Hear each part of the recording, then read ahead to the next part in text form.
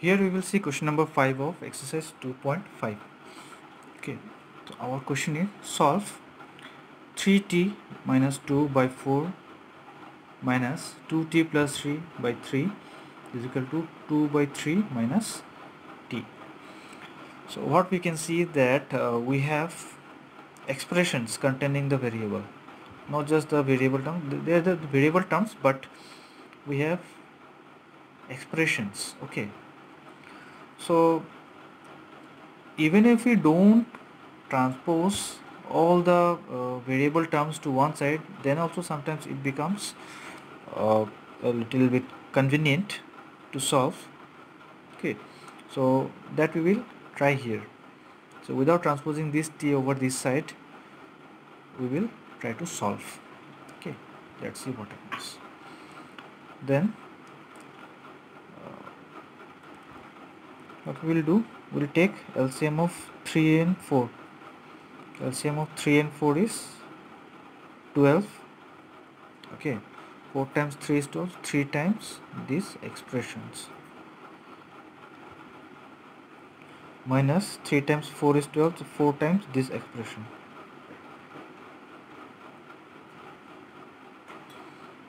Okay. then take LCM of 3 and 1 which is 3 so here it will be 2 minus 3t okay. Now we will break these brackets.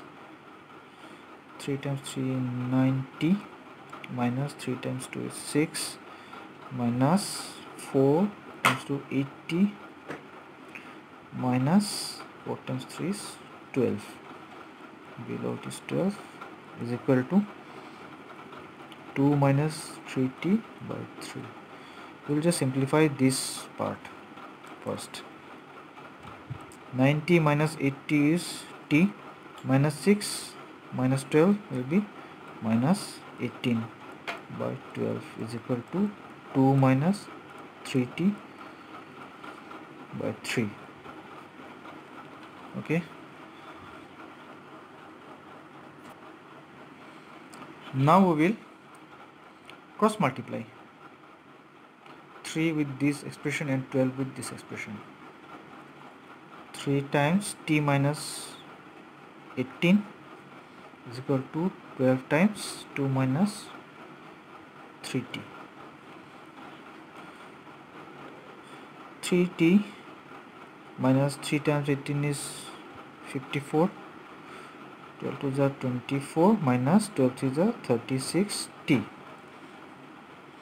Now sorry. Now this equation looks somewhat familiar. Okay. We have two variable terms and two constant terms. So what we can do we can bring the variable terms on the one side and the constant terms on the other side. This is our simplified form. Okay. 3t is th minus 36t will come over here and it will become plus 36t is equal to 24 plus 54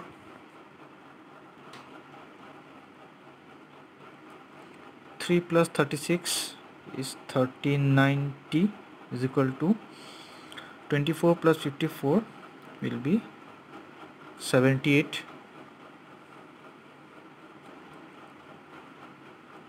okay. Our t will be 78 upon 39 and you can see that 39 times 2 is 78 you can calculate. So 39 times 2 is 78 so our t is 2 okay. So in this way sometimes without uh, taking all the variables on one side it becomes a little bit convenient for us to uh, do the calculations or solve the equations. Or in this type of equations we can turn them into